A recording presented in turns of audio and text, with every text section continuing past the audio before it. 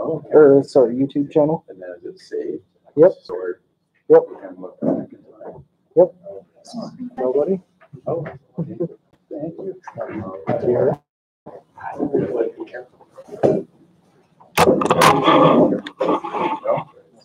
Okay. Let's go this way back. Probably somebody should go back. Do you have a phone number for it? No.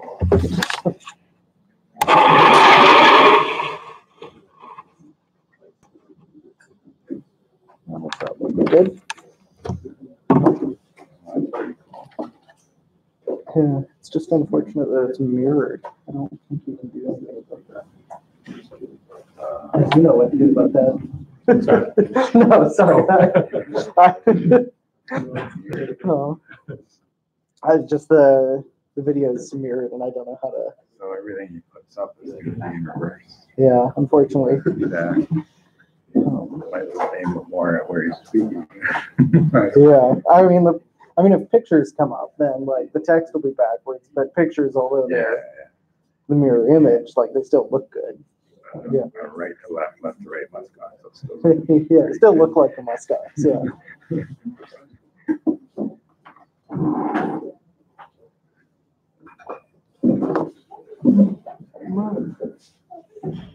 I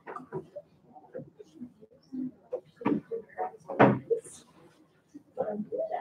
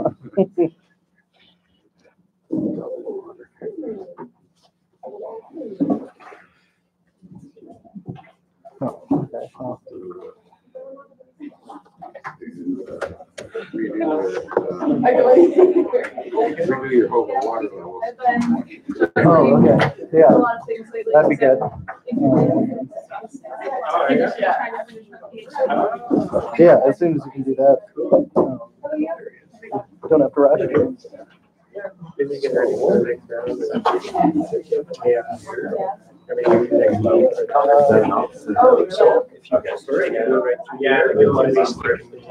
All right, let's do that. Yeah. Try to finish this, to do that. I'd like to be back to the- Uh, this is- Oh, I heard it was Okay. raining. Why, why are you back here?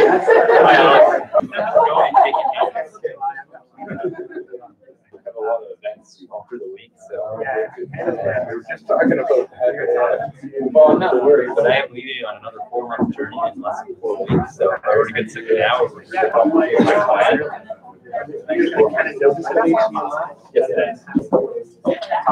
where it's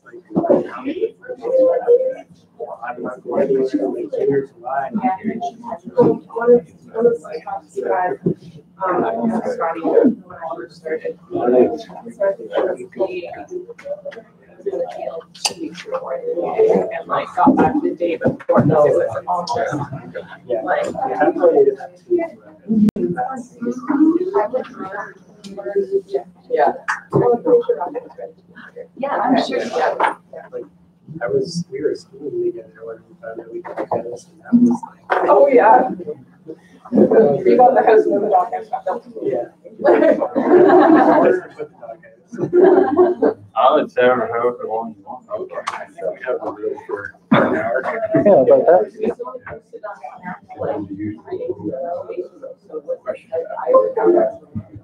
Oh, sure, yeah, yeah. Well, they won't talk for an hour, I'll talk to you thirty Yeah. minutes. and Yeah. then we'll have time for Q and A. That would be great. Okay, perfect. Thanks. I'm gonna just wait a few more minutes.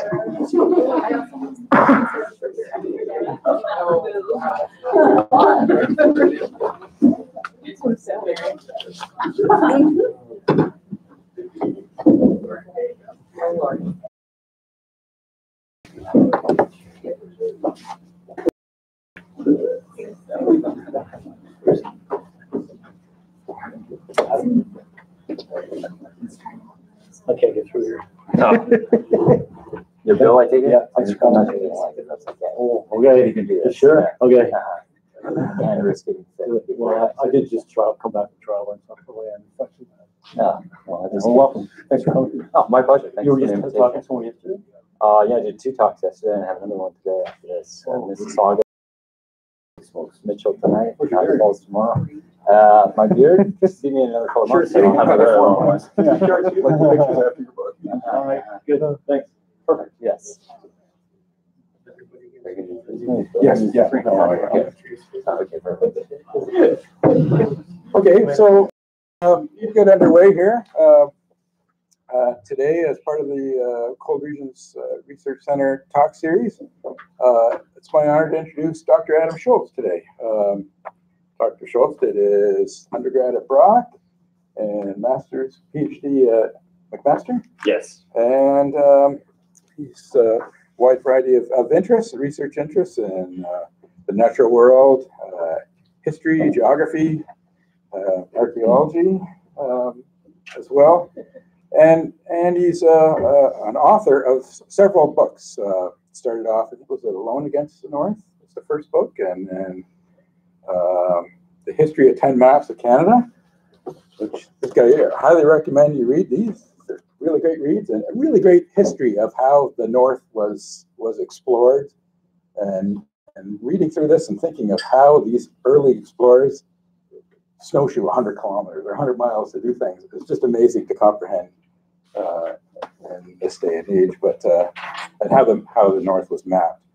And then more recently, uh, his book on um, Beyond the Trees, uh, which is a, a his epic 4,000 kilometer solo journey, canoe trip across the Barren Lands, the Boreal Forest, I think ranging from starting in Old Crow, was it, area of the Yukon, basically traversing across many of the areas that many of the researchers in here have, have worked in, whether uh, we have researchers that have worked in the Nunuvik area in the Barren Lands, uh, in the rivers, uh, Great Bear Lake. Uh, we have researchers that have worked in the Coppermine River areas that look like you've gone through. So that'd be very natural to have Dr. Shoalts come and, and give a presentation on his uh, his book and his uh, journeys and pictures of of the journey across uh, with the book Beyond the Tree. So, um, so we extend a warm welcome to Dr. Shoalts. Thank you. Uh, well, thank you very much for the introduction and thank you all for coming. Uh, it's very nice to be here on Laurier's campus. Uh, I did do my PhD at McMaster, but I have a Laurier connection. Uh, I actually did part of my PhD with uh, Dr. John Triggs from the archaeology department. And uh, at the time, I thought it was going to be really easy to get permission to come over here to Laurier and work with Dr. Triggs. I mean, McMaster is like half an hour away. And I was amazed by how many different levels of bureaucracy I had to sign off on that at both Laurier and McMaster, all these different deans that I didn't even know existed. Uh, but anyways, and I know Dr. Glenn Cross. Uh, we've known each other for, I think I met you eight years ago on a dig in Fort Erie, and I've hung out on your digs before as well. So very good. Thank you. I don't think I know anyone else here. Uh, anyway, uh, before I get started, oh yes, uh, yeah, maybe a few of you have actually seen me on digs over the years. Uh, uh, before I get started, I don't know very much about the cold regions uh, research center. Is that the correct title. Are, are most of you students? Is that, or are you, yeah, you're students? Undergrads or, or grad students? And are you from a whole di- bunch of different disciplines? Are you all in geography and earth sciences? Biology, biology, Biology, mostly in biology? no, mix it biology and geography. Oh, okay. Is Geography. there anyone from the archaeology department or no? Oh, yes, okay, very good. And are you just here to see me or are you actually part of the cold regions? Oh, you're just here for me. Yeah, that's good. Yeah. Okay, very good. Uh, well, anyways, uh, my name, as you heard, is Adam Shoalts. Uh, I'm explorer in residence with the Royal Canadian Geographical Society. I've been doing expeditions for the Royal Canadian Geographical Society for about 10 years now. And uh, they made me an explorer in residence a couple of years ago, which is kind of an oxymoron since I'm not really resident uh, anywhere. I just seem to always be wandering around. And uh, that's me in my canoe. That's how I normally look uh, on my expeditions. I do expeditions in all four seasons. Just came back from one uh, two days ago uh, up north doing some things. And I'm going to be heading out again for about four months solo off the grid in about four weeks. So that's why I appreciate the invitation. It's always nice to get some face to face interaction before going away for four months uh, by yourself. Anyways, today I'm going to talk to you a little bit about what I do uh, because I had a background in academia. I mean, I did my PhD at McMaster, uh, but I've been outside of academia ever since, um, making my living as a full-time adventurer and a, a popular writer, I guess you would say. And uh, yeah, doing that full time for about the last five years or so. This is this is my uh, my life, and uh, I consider it, you know, looking back how I became an explorer in residence, uh, the greatest good fortune in the world that I just happened to grow up, grow up in rural Ontario uh, without any neighbors or any other houses around. I, I lived on an unpaved road with no streetlights and no sidewalks, and all around our house, I mean, I look out my bedroom window into these uh, uh, silver maples and sassafras and red oak, but all around us was just a big swampy deciduous forest, and uh, that was my first playground, uh, my first classroom, and I spent all the time I could as a youngster uh, out in the woods. I had a real passion uh, for trees and wild plants and lichens and mushrooms and birds and all the wild things. And that's what that was what I looked like as a kid. Oh, sorry, I didn't plug this in. Uh, yes, I did. Yes, there. That's what I looked like as a kid. Uh, doing this kind of thing, you know, I always loved uh, survival and that sort of thing. Always trying as a kid to make fire without matches, rubbing sticks together. Never seemed to work that well in those days. Uh, but I came from a long line of woodworkers. My father, my grandfather, my great grandfather, uh, they were all traditional woodworkers. So the kind of people who made uh, grandfather clocks and uh, you know tables and chairs uh, from by hand, you know, using old uh, hand tools. And that was sort of a lot of my early childhood memories of doing those sorts of things. And my father, you know, he spent a lot of time teaching my brother and I all the different trees of the forest. I remember being quizzed, you know, in the winter when there was no leaves, it was always hard. Uh, that's a basswood, that's a black walnut. And what do we do with each different type of tree? What's the wood good for? You know, a hop hornbeam, it's really hard. We'll use that to make our chisel handles for carving. It's not going to split when you hit it with a mallet. And uh, basswood over here in the summer with the big heart-shaped leaves, that's a really soft wood. We'll use that for carving when we're going to carve our, our old man carving or whatever we're doing. And I thought I would show you a few examples of the kind of projects we used to do as kids. Uh, I remember one day I went out into the forest behind our house and I was looking for a nice big white birch. I had one in mind. I knew where it grew over by the sycamore. And I, I got the white birch. I took my chisel and my mallet and I peeled off the bark off the tree all in uh, one big piece. And I got it down on the forest floor, kind of like a big long uh, uh, rug of carpet. And I rolled it all up, brought it back to the wood shop and cut some stakes and started folding the bark in between there because we used to always do these kind of projects. And then I went back out in the forest and I looked for some white ash for gunnels and thwarts. And then I looked for some eastern white cedar uh, to make some flexible ribs. And I waited for a big windstorm and I got some uh, white spruce roots for sewing things together. White spruce really good, the root for sewing. And also some inner bark of the basswood for more twine. And we sewed it together and uh, we built a birch bark canoe here. And we were always building cedar strip canoes and birch bark canoes and carving paddles. And uh, best of all, when it was finished, that's when I got to have fun uh, taking them out and paddling them as a kid.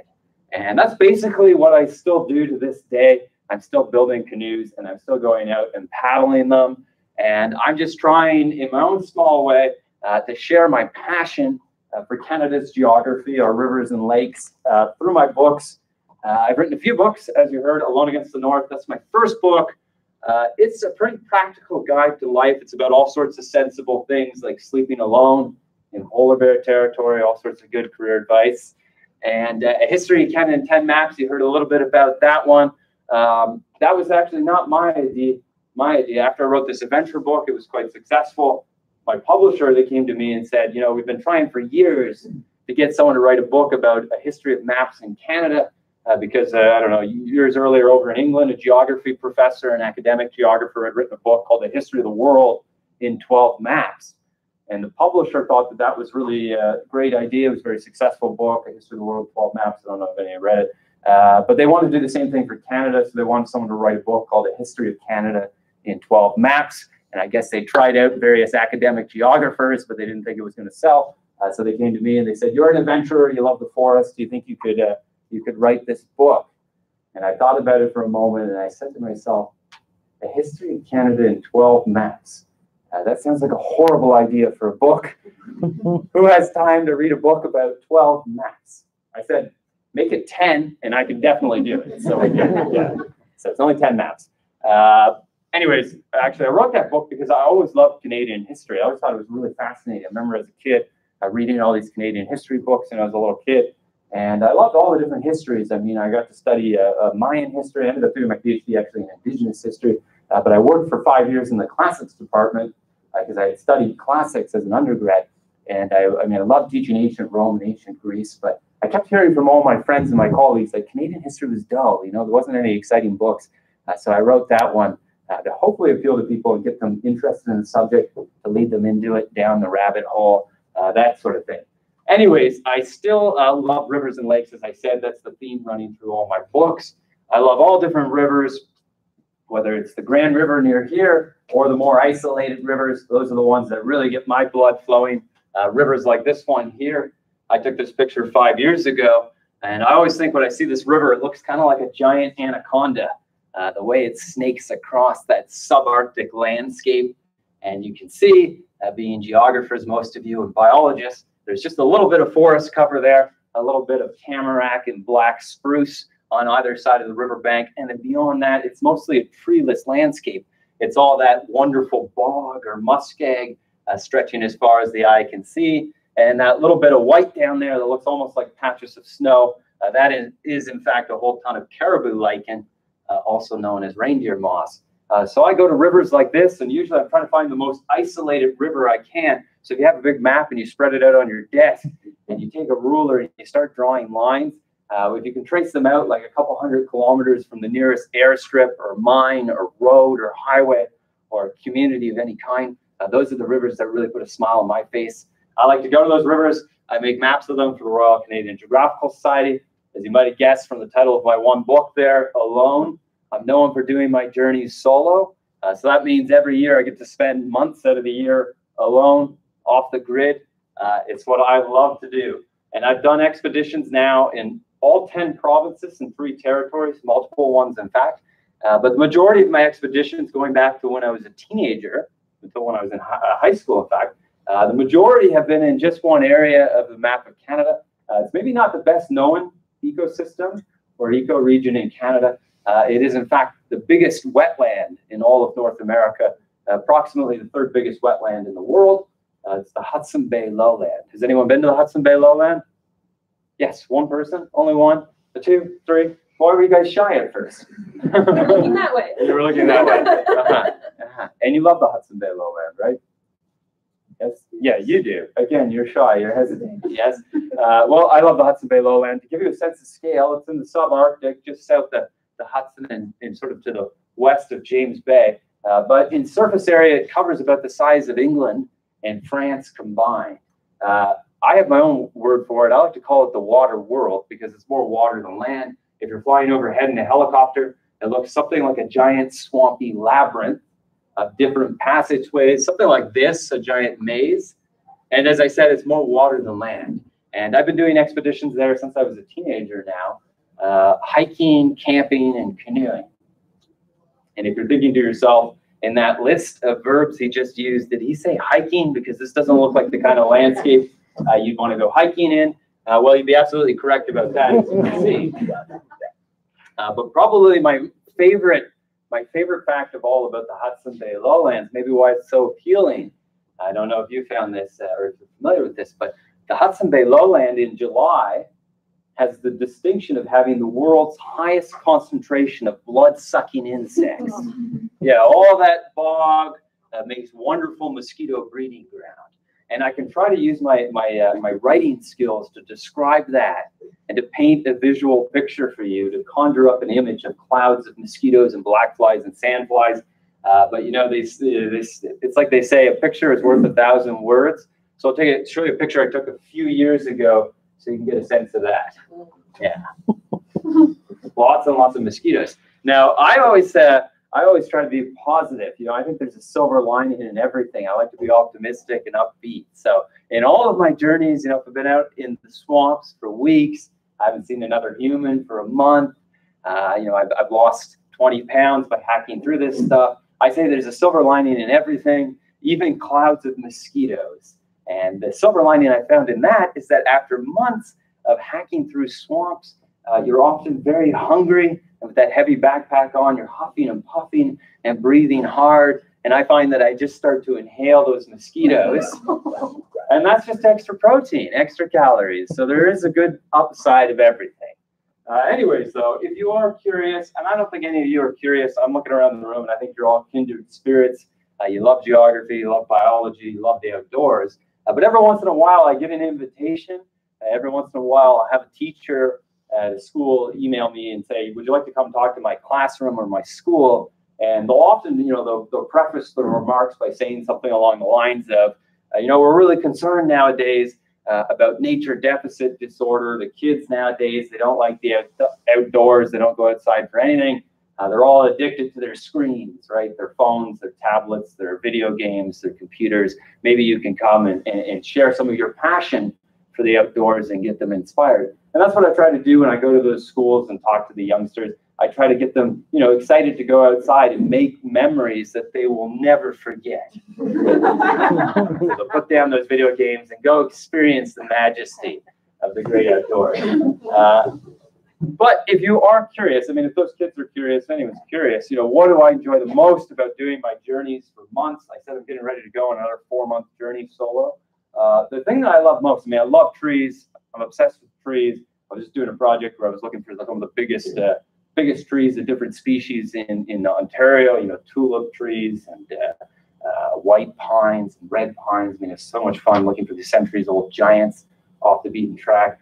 And uh, I love mushrooms. I have a long-term ambition to write a field guide to mushrooms in Canada. I've been working on it for over 10 years, and it's a lifelong project of mine.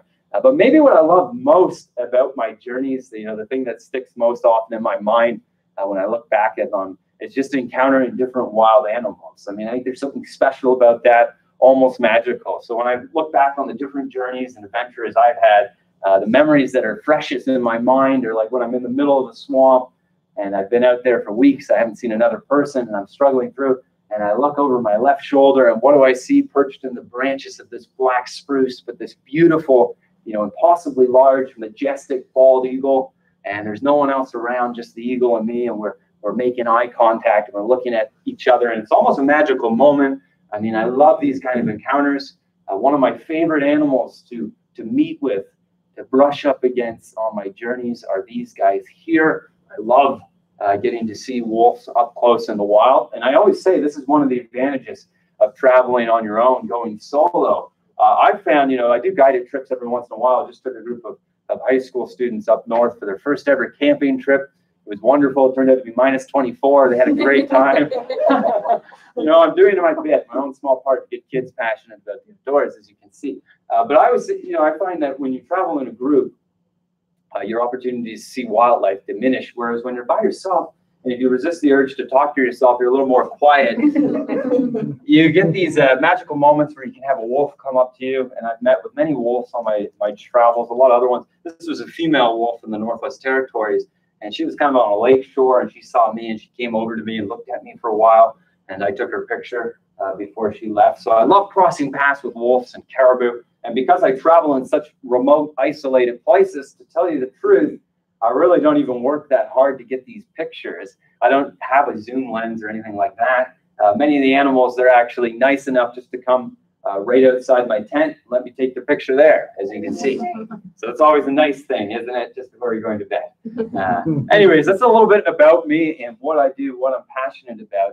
Uh, this afternoon, I figured I would talk to you maybe a little bit about my uh, my newest book. It's only about four or five months old. It came out last fall. It's called Beyond the Trees. If I was a proper salesman rather than an adventurer, I would have brought a copy and held it up now, and then I would have had copies for sale. But I neglected to do either of those things. uh, anyway, so you'll just imagine it here. It's got a really pretty cover. Uh, Beyond the Trees. And uh, it's the story of uh, one of the, the bigger projects I've undertaken, one of the bigger journeys I've done. And uh, to tell you how I came up with the idea, I have to spin the clock back a few years. I would say 2016 or so. I was living in Northern Ontario at the time in Sudbury. And uh, I was uh, hearing more and more about uh, Canada 150 projects, projects for the 150th anniversary of Confederation. There was a whole multitude of things going on. Every little group and club seemed to be doing something. And I started to think, well, maybe we shouldn't be focused on the last 150 years. Maybe we should focus on the next 150 years. And what uh, is Canada going to look like a century and a half from now? You know, is there still going to be vast wild places, or is all that forest going to be cleared for logging? Um, is everything going to be changing through climate? You know, what's it going to look like in 150 years? Forget about the past. The past is over and done with. I know a horrible thing for someone to say, writes history books for a living, but forget about that and let's think about the future. And that's what I started to do. You know, I was looking at the map of Canada. I was looking at population growth. I was looking at the, the expansion of the road network, tens of thousands of different paved roads and mines and things and logging frontiers. And I was looking at all this, and I started to wonder, well, what could I do in 2017 uh, to mark the occasion, maybe to, to spark some interest in the wild, all these things that I love, wild places and wild animals. And I was looking at the map here, and I was I should have put another map in, but I didn't. But I was looking at wild places around the world, and I think it's really extraordinary. And I don't think very many Canadians know this. Uh, but the biggest roadless area, this is population density, maybe I should explain that.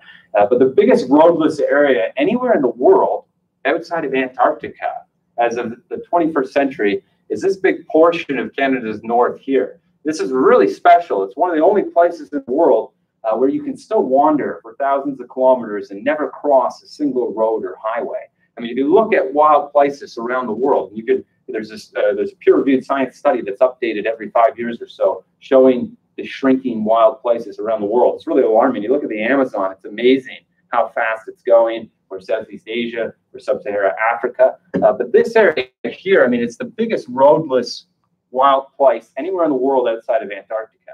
I mean, from basically the Dempster Highway over here, as of right now, you can still travel by canoe or on foot uh, thousands of kilometers all the way over to the coast of Hudson Bay without crossing a single road or highway. Now that might not that might not last for very much longer. Uh, the Trudeau government has actually approved plans. They promised $61 million of taxpayers' money uh, to build a road for a Chinese mining company from Yellowknife up here so they can mine up here.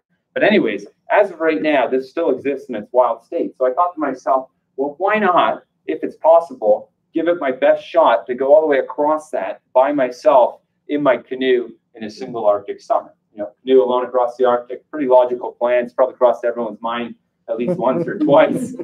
You're laughing because I stole your idea. You're going to totally do that until I came along. And uh, that was the idea I came up with. And when I first started planning and preparing, I mean, I've done lots of canoe trips in the north before. I canoed up in the high Arctic up here near Viscount Melville Sound. I've done some expeditions over here uh, along uh, Dease River, sort of up in this area, and elsewhere across the north, all over in Hudson Bay. Uh, but I figured, you know, why not try to do this journey? And being geographers, you probably already know, well, that's not a good idea at all. Why would you do a journey horizontally across that map? And if you look at a more detailed map, you can figure out why that's maybe a problem. Uh, if you're going to do a journey alone across the Arctic from west to east, or if you start in the Hudson Bay watershed and you come over here to the Bering Sea watershed, uh, there's a big problem with that that idea. And that's because it turns out that most of the rivers in the north are not flowing the right direction for this project. As you can clearly see here, most of these rivers are all draining north into the Beaufort Sea or the Arctic Ocean. So if you want to do a journey along the Arctic Circle down here, but you're going to run into a lot of rivers that aren't going the right direction. Uh, but I, you know, I racked my brain, I did some homework, and I came up with what I thought would be the best plan for me, uh, the most economically feasible plan uh, for me to pull this off. I figured I'd start over here in the Richardson Mountains in May. And I'd do the first couple hundred kilometers on foot, get through those mountains while things were still frozen, and then come out of the mountains and hit the Mackenzie River here, just outside of Tsiigehtchic. And Tsiigehtchic, I planned to pick up my canoe, my paddles, my life jacket, my barrels, and then paddle as fast as I could go east, roughly along the Arctic Circle. And I was hoping to get all the way over to Baker Lake, Nunavut, down there, uh, before conditions got a little too cold for paddling in September or whenever the snows might start to accumulate. So that was my plan. Oh shoot, what can I slideshow my?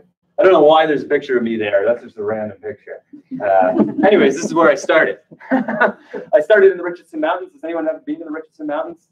Yes. Oh wow, you've been everywhere. You too. Uh, they're, I think, one of the most beautiful mountain ranges in the world. It's one of the only places in Canada that wasn't glaciated during the last uh, ice age. So they have this very dream-like ice age appearance, these thin, wispy clouds, uh, beautiful sort of undulating dunes. And I started there, and uh, I started on foot, as I said, right on the Arctic Circle. And my plan was very simple to go east. Uh, with all the backtracking, because I can't travel in a perfectly straight line, that wouldn't be very feasible. Uh, I had to have to do about 4,000 kilometers total to get all the way over to my end point. And I was traveling as light as possible. You know, moving through the mountains in May, I had just a backpack and the bare essentials. Uh, and I figured if, you know, a lot of people say when you're traveling in the north, who, who's actually, has anyone ever camped in polar bear territory before? A few of you? Yeah. And did you carry, did you carry firearms when you did that? Yes, you're all naughty.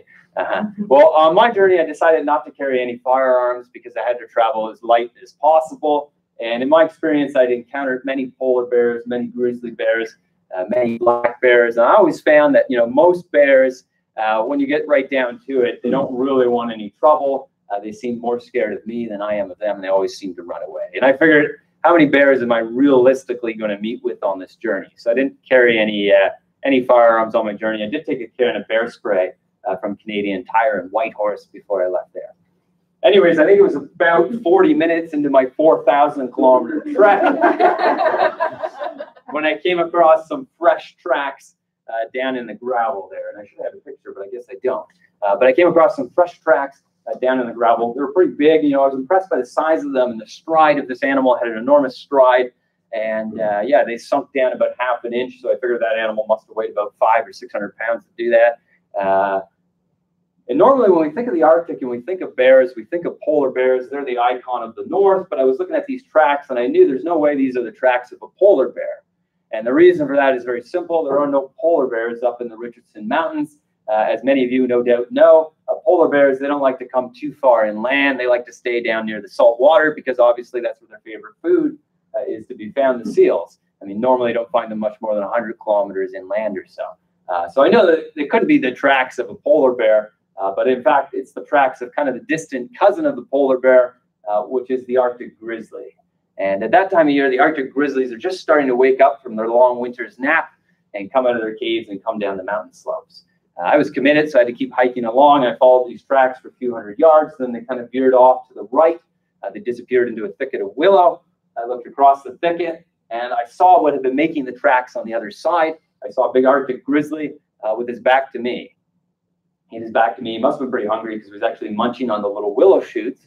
And then on the breeze, I could see him sort of sniffing on the wind. I'm glad you think that's funny. I didn't think it's funny. uh, he was sniffing on the wind, and I could see him cranking his head around in my direction. He turned around, he saw me, he rose up on his hind legs, stood about eight or nine feet tall, and then he dropped down on all fours, and he immediately charged me.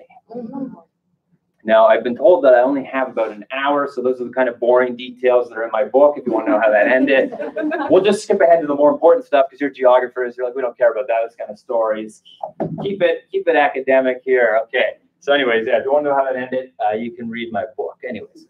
Um, so after a few hundred kilometers of hiking, you know, over a period of days, I eventually get out of the Richardson Mountains and I come down to the banks of the Mackenzie River, uh, where my plan was to rendezvous with my canoe, my paddles, my life jacket, uh, my two barrels, my watertight plastic barrels. You guys know those things, and uh, start paddling.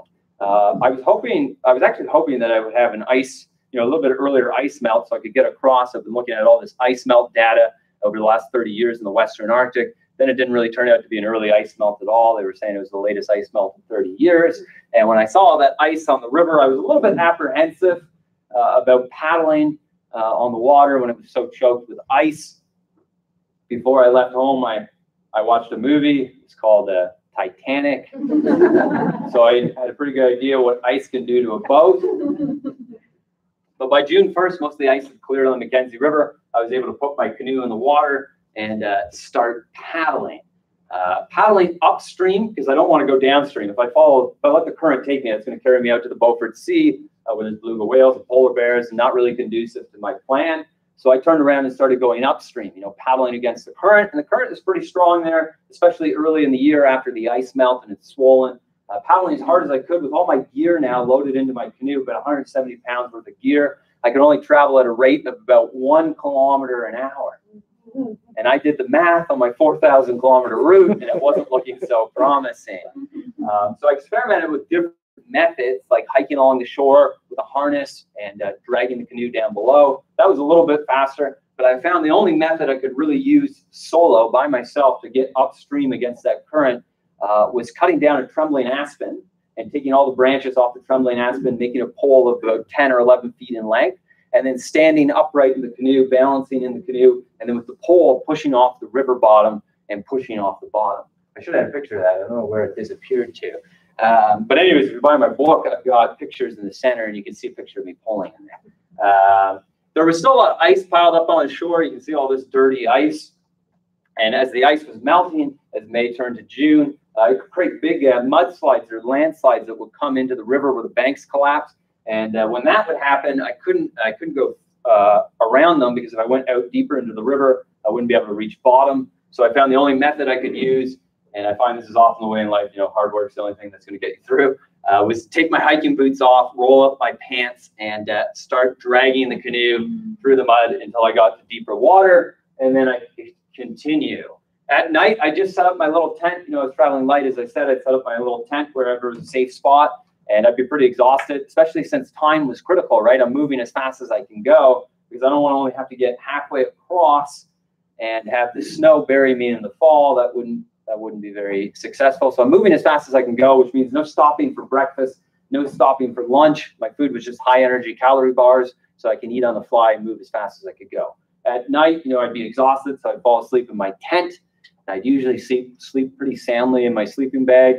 Uh, every once in a while, I would have that experience that I'm sure many of you can relate to. Uh, you know, when you're sleeping out in the wilderness and it's the middle of the night and you, something wakes you up just outside your tent. Yes, you're nodding. You've had that happen to you, like you hear a branch snap or the leaves rustle, and you think, what could be making that sound? I always say, you know, confidence is half the battle. Be optimistic. So I usually tell myself whenever that happens to me, uh, which seems to be quite often, uh, that the odds are it's probably only a red squirrel making that noise. Uh, but it can be a little bit alarming when you unzip the screen door of your tent just to peek out and see what's making that noise out there. And you see one of these guys like five feet away, just staring right back at you. Yeah, he's pretty big. Uh-huh. Uh, so I just kind of got used to nocturnal disturbances in my sleep. I would have bears wake me up. I'd have these guys wake me up, Arctic muxhawks. Uh, but I only wanted to go about 350 kilometers up the Mackenzie River. When I got to that point, I was continuing along the Arctic Circle, so I left it behind. I started going up a smaller tributary, uh, looks something like this. So I'm still traveling against the current. Uh, you can see I'm wearing neoprene, so I don't have to worry about hypothermia because whenever there's whitewater rapids, then I just get down in the river, drag the canoe behind me there. And uh, I did this for another several weeks or so, and I was hoping eventually to get into Great Bear Lake.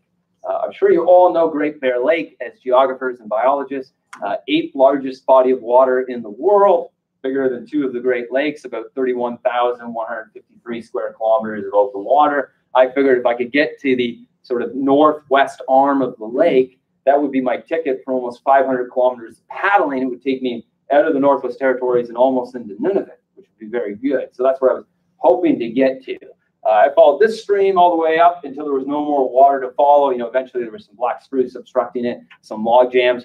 Uh, but when I ran out of water, that's when the really hard work began because that's when I have to start uh, traveling on foot and portaging. Uh, so I might, you know, begin with my backpack here. My backpack's got my my hatchet in it, my first aid kit, my tripod, my camera equipment, uh, all that kind of stuff. So I would hike east for about three kilometers or so. I wasn't too worried about navigating. No trail or path to follow, of course, but I know that the coast of Great Bear Lake is so massive, it's like the ocean. I can't possibly miss it so long as I keep going east. So I would hike for about three kilometers or so. After about three kilometers of hiking, you know, the ground might be uh, marshy in places, might be willow thickets and others, dwarf birch, uh, you name it. Uh, I would set down uh, my backpack and then retrace my steps another three kilometers or six kilometers and get the first of my barrels, my blue barrel uh, with all my food rations, strap that on me, carry it nine kilometers back to where I left my backpack, set that down, come all the way back, try not to get lost, get my other barrel, my orange barrel with more food rations, carry that all the way back, uh, 18 kilometers or so, go all the way back and uh, get my canoe and then drag the canoe for the last load, save always the hardest for last, drag that all the way across. Uh, so that means when I was doing my portages between different watersheds, because I started in the Bering Sea watershed, trying to get the Hudson's Bay watershed, uh, with my four loads, it would be seven times the amount on a map to actually cover the distance with all my different loads. So a three kilometer portage uh, when you're by yourself with four loads is in fact 21 kilometers of portaging.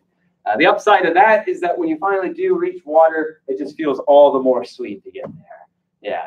And uh, when I got to the big water, um, because as you can tell, I don't like taking risks, I found the safest way to do things uh, was to travel by night. So I'd usually be nocturnal. I would sleep during the day and then paddle all night long under the midnight sun, as you can see here. The reason I did that, very simple, is the waves, the wind are usually worse during the day when you have all those warm air currents. Uh, so that's why I would do most of my paddling by night and sleep during the day when there was big white caps uh, riddling those lakes. There were still some obstacles uh, outside my control as I was moving along uh, the coast of, of, of Great Bear Lake over a period of many days. Uh, I came around sort of a peninsula on that north shore, and I saw something that made my heart for a moment sink a little. I saw this, a lot of ice uh, blocking my route, and this ice was still pretty thick. I mean, down here, this is about four or five inches thick, so you can stand on it. But as you can see, there's also open water, so I didn't really want to go walking across the ice, dragging my canoe behind me. And I couldn't get around it because it extended for miles offshore, and I didn't really want to venture way out there into the heart of the lake, especially if the wind picks up but I couldn't afford to delay either. Uh, so I had to find a way to snake through this maze of ice. I found my pole very useful here. I used my pole to sort of push into the ice floes or push up onto them. You know, the edges were often uh, sort of slushy like that, so I could get up onto the floe. And then the center, the center part would usually have that thicker uh, white ice. I'll play you a little video if it works here. I don't know, I can't promise. Oh yes, here's my GoPro. And it will look something like this, as you can see.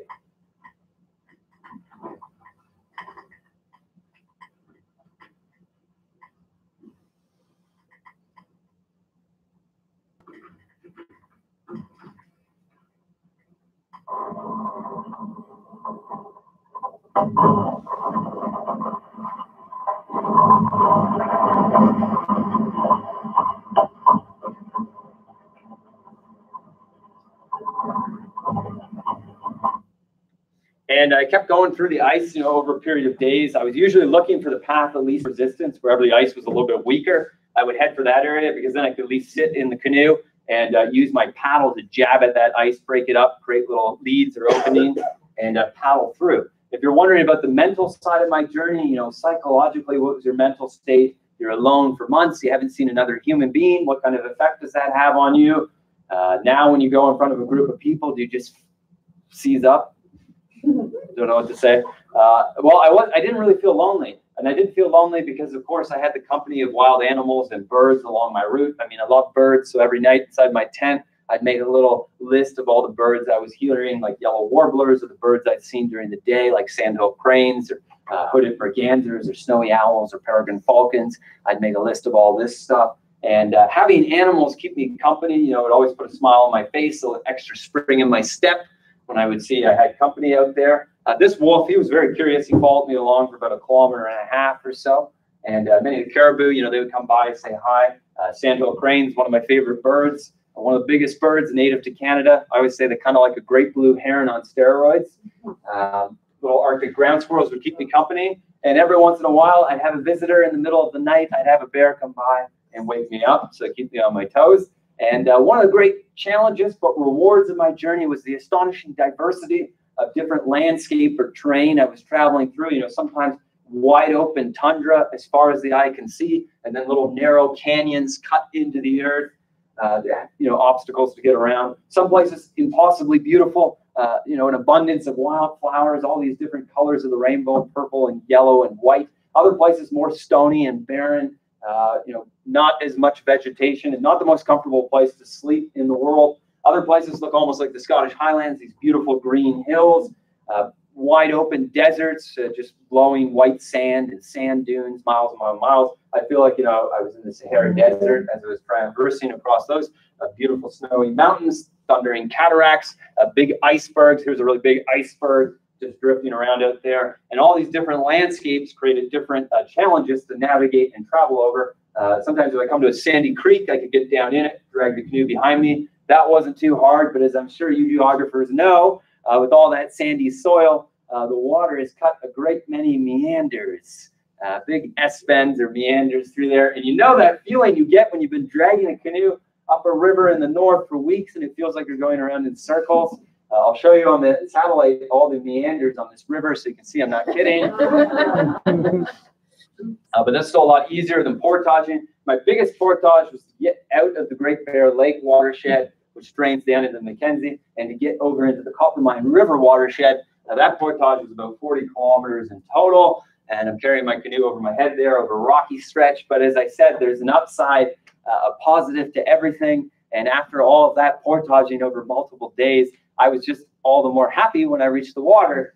And that was definitely a bonus. As I'm moving along, I get down into the Coppermine River watershed. Some of you I heard worked in the Coppermine River. Coppermine, as you know, uh, has a very strong current on it, right? Especially down in its lower section there. And the current there was so strong, uh, I, couldn't actually use my pole, especially where it was deep. I mean, I used it in certain sections on the Coppermine, but here I just have to leap from boulder to boulder and kind of use my canoe to balance myself so I stay steady. Uh, in places where the the boulders are just a little too big for jumping. Uh, then I would use my rope tied onto the bow. You can see it there. I'd go ahead on foot and then drag the canoe down below, you know, guide it around these cliffs so I can get back down in it. There were a few places on the Coppermine where the rocks were a little too big for my rope. Again, I'm glad you find that funny. I did. Uh, but as I'm doing this journey, you know, the landscape's always changing. Sometimes I might find myself right down in the middle of a stream, uh, you know, just balancing on boulders. They could be a little bit wet, a little bit slick. I'm gonna have to get down in the water and just sort of shuffle my way forward. I'll show you another video Uh, so you can get a sense of it. Just dragging my canoe upstream here.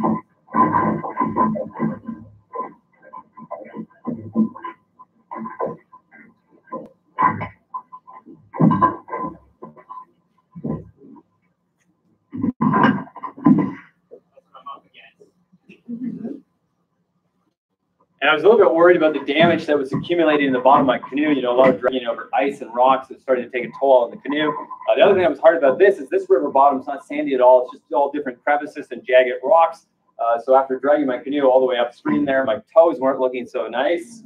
Uh, but on the other hand, the scenery was just gorgeous, just beautiful, right?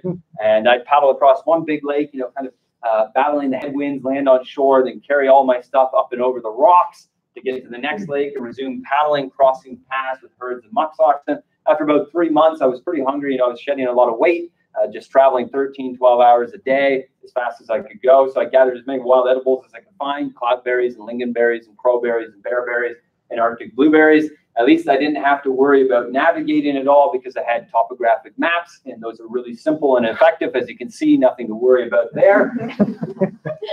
and of course, I couldn't afford to take the wrong lake or go down a dead end bay because I'm running out of time now. As you know, by the end of August, just like here in Waterloo, uh, in the middle of October, here all those oaks and maples start to change red and orange. Same thing happens on the Arctic tundra. You get the fall colors. and the seasons start to change. There was other signs of the changing seasons. Sun's starting to dip below the horizon. Uh, the nights are getting colder. Now there's a layer of frost on my tent. The snow geese, they start to migrate south, as do a lot of the caribou down to the boreal forest. And in the Hudson Bay watershed, especially, uh, becomes storm season with really powerful winds. I mean, you have gale force winds, thunder and lightning storms. And those kind of storms, they can generate wind uh, with waves big enough to sweep right over your canoe. Anyways, that's about all the time we have. So if you want to know how that ended, you've got to read, there's my book, uh, Beyond the Trees. So thank you very much. I hope you enjoyed it. Have a good day.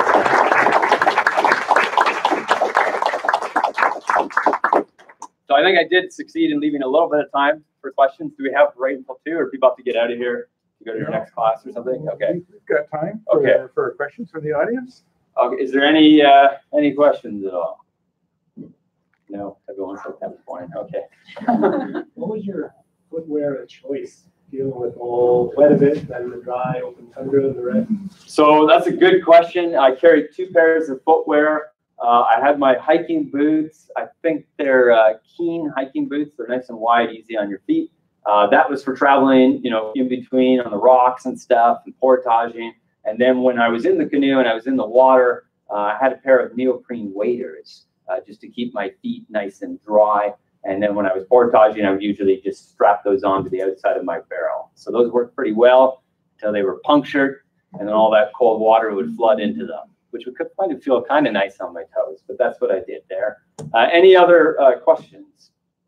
Yes. Uh, when you complete your trip after you kind of you you, you were successful in, in doing this trip for probably four thousand kilometers and all the preparation that's gone into that, do you go through sort of a grieving process that it's over, or are you just super excited about the next thing in front of you? well, I should ask, has anyone has anyone by any chance read my book Beyond the Trees? But you have. I, I, Okay, because I was like, that sounds like you've read my book. Yeah. have- I have. Spoilers. Yeah. Yeah. Uh, yeah. So you know So the didn't mean to spoil Yeah, spoiler alert. Come on, it was- everyone. Uh, well, yeah, as you know, the ending of my book is sort of bittersweet. There's a touch of melancholy in it, and I talk about, you know, all these things I love, all the animals and things, and uh, definitely it's bittersweet. There's a part of me uh, that would say, no, I'm not coming to Laurier. I'm not doing any more slideshows. I'm just going to stay out there uh, doing what I love. Uh, but I feel like, you know, I have to. Uh, you can't be selfish like that. There's a part of me that definitely just wants to go away like that. But, you know, uh, the other side of it is, is you have to try to try to you know spread the message and do what you can. Uh, I was an environmental columnist for about five or six years. I wrote a, a column on environmental issues, and I feel like after six years of being involved in petitions and things and different environmental groups and lobbying different levels of government, I accomplished nothing at all. It seemed like we never actually accomplished anything, and I was only ever preaching to the choir. And then I started deciding, well, what if I did a more subtle, roundabout way? And I, instead of you know hitting people over the head with it, I told stories of adventure, of wild animals, of magical bald eagles, of ancient forests, you know, a bird song, of majestic lakes. And I did this in a more subtle way to sort of, you know, try to get in there and show them the, the immense value of these places. And maybe on some level, when they're finished reading my book, uh, they'll come away with a little bit of feeling of that. And then they'll want to go out and uh, delve into all those other uh, groups and articles and things and get more involved. So that was kind of the bittersweet note uh, at the end of my end of my book. And there's a little bit of an afterword there, in which I talk briefly in my afterword uh, of about more of an environmental uh, message in the end there. So that's kind of my approach to things, my meandering way. Uh, any other uh, questions? Yes. Similarly, or similar question, when you were starting out, like, what's your mental situation there? Like, how do you, there's a lot of unknowns and a lot of apprehension. Absolutely. There was a lot of unknowns. I, I, you know, I did a lot of canoe tripping in the Arctic and elsewhere before this, and I read everything I could lay my hands on. I heard many stories from different people, and the big, the big unknown that always uh, sort of nagged at me at the back of my mind was the wind. You know, I'd read stories of different people on canoe trips who the wind, uh, the wind had, had pinned them down on shore for 12 days at a stretch. This one 1972 uh, trip, they got pinned down by the wind at the end of August in the Hudson Bay watershed for 12 days, you know, night and day, the wind was relentless, and the wind can be so strong. I remember another story I heard uh, once of a canoeing party in the Arctic. There was about, uh, I think, uh, oh, a party of about eight divided over four canoes. And overnight, the wind was just like, you know, fierce on their tents, like a racket all night long. And when they woke up the next morning and they went outside, one of their canoes was gone. The wind had carried it away in the night, right? Which it can happen. And when it was really bad, I would like pile rocks inside my canoe or tie it down to anything I could find.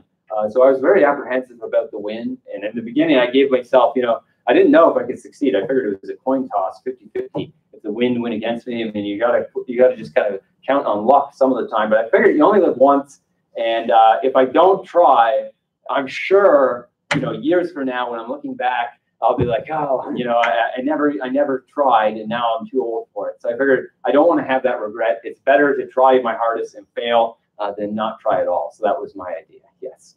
Uh, any other questions? Yes. When- you're on these journeys and, and, you know, this is modern day, you have modern equipment, um, does it dawn you when you're going through these areas, thinking back to when the early explorers did this with, you know, birch bark seals, how they, how they managed? Does it, does it, Yes, absolutely. Uh, I think about the techno- technological change all the time, specific to canoes and paddles and life jackets and all these things. And it's actually a great motivator because I always say, ah, I've got it easy. you know, if they could do this hundreds of years ago, uh, I have it easy with these modern materials. I mean, I love birch bark canoes. As you saw, uh, building birch bark canoes, they're an ingenious vessel, but you just can't use them in the same way. If you try to drag it across an ice or drag it over rocks and put a hole right through it, first thing. And if you if you ever have spent any time in a birch bark canoe, or maybe just read historic accounts of them, uh, you know repairing your canoe is a daily thing, sometimes multiple times in a day. Uh, so you'd always want to carry an extra supply of birch bark. And if you're traveling beyond the trees on the tundra, where the nearest birch big enough to make a canoe out of is hundreds of kilometers away, it makes it even more challenging. And all the other advantages I have, I mean, I have Under Armour, uh, you know, Gore-Tex and neoprenes that I don't have to worry about hypothermia, uh, these really high calorie energy bars, you know, all these things uh, make it so much easier than if you were trying to use uh, just traditional materials. I mean, I guess that's true of any walk of life. I mean, if you're thinking about your own research, I sometimes think like, wow, I can't imagine what it would have been like to do a PhD in like 1975 without the internet and without a laptop and have to write all this stuff out and you know go to the library and go to a card catalog. And I think that's true of any any walk of life of, of how much technology has changed. I mean, even in archaeology, we talk about how much more sophisticated methods and technologies have become today compared to what they were, uh, you know, 50 or 100 years ago. So I think that's very true of, of everything. Is that our technology has made it a little bit easier. And uh, I guess for me, it's just mo- another motivating factor. If I feel like I'm in over my head, I'm like, oh, come on, uh, you've got it easy compared to what people had in the past. So yes, there is an element of that. Uh, any other further questions? Yes, in the back. Uh, was there, like, did you have any like plan in place for if something went wrong? Like if you broke a bone or all your food went downstream or something? Yes, yes. Uh, I thought about that th- that quite often throughout the day, uh, and it would depend on the scenario. Um, if I mean, I was trying my hardest not to give up, even if I if something had happened to me. Um, if I broke a bone, like I, let's say I, I twisted my ankle really bad, or I broke my ankle and I couldn't go on, um, I would probably have devised a new route uh, to give up traveling upstream and simply go with the current down to the nearest community that I could get to, uh, which might be difficult, but compared to going upstream, it would feel at least easier. And uh, that would be my plan in that scenario. Uh, you know, I did think if I, I did often think, well, what happens if a bear destroys all my food in the night or my canoe is destroyed? Uh, what am I going to do here? Because I was thinking of, well, how much would it cost hypothetically if I had to get a helicopter or something to drop me something new? And I did the math in my head, and it was uh, very uh, forbidding that option. and uh, so I was just really hoping that to be as careful as possible and not have any of that happen. I mean, I like to joke about it, but I'm actually uh, very, very cautious about everything I do out there. You know, I'm always thinking of the worst case scenario, and I think ahead of time. Okay, what's the worst thing that can happen? And then I'm prepared for it mentally. So every morning when I wake up and I'd unzip my tent, I'll be like, okay, guaranteed. When I look outside my tent, my barrel will be like this mangled remains Mhm. strewn about, and all the food will be gone because the bear has come. Uh, or guaranteed the next, you know, piece of ice or rock that hits this canoe is going to go straight through it, uh, just to sort of be prepared psychologically for whatever happens. Uh, any further questions? Yes. Um, I imagine you have a very understanding family. um, so could you speak to me a little about to how this impacts like your relationship and if you ever feel like kind of guilt we're going on these journeys? Uh, Because like the impact? Oh, okay. Um, well, when I did that, I was single. I wasn't married. Um, so there wasn't really too much thought about any of that. Uh, now I am married now, and uh, my my wife was actually like, I definitely think you should go on a four month journey this spring. Only four months? Are you sure you don't want to raise the bar higher? Um, so it's been pretty good. Uh, no, she's actually very supportive with me. Uh, I mean, she knew she knew what she was getting into uh, when she met me because I'd already done these journeys. Um, but no, no, she doesn't worry about, about that at all. She worries much more about like you're going where today? You're driving all the way to Waterloo. Well, you be careful. Don't you daydream on that road like you do, or the roads are bad. You know, I worry much more about that when I have to drive somewhere or something like that. So she's very supportive. I'm supportive of her, and uh, yeah, we do that kind of thing. So, anyways, I think we're pretty much out of time. I will say one final thing.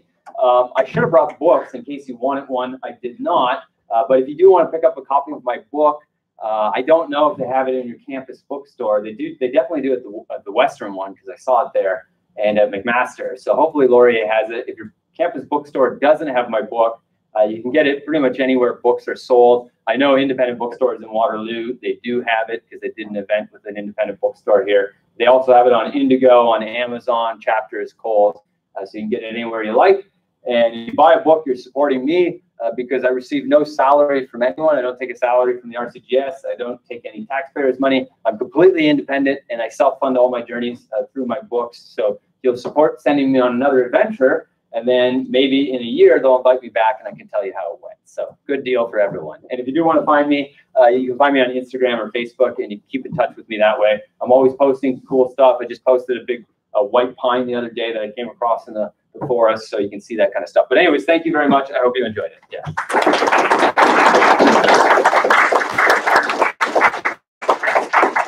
Uh, Adam, on behalf of the Cold Regions Oh. Research Center, I have a small token of appreciation. Just for what I need. Another Truly month. Yeah, fascinating thank you.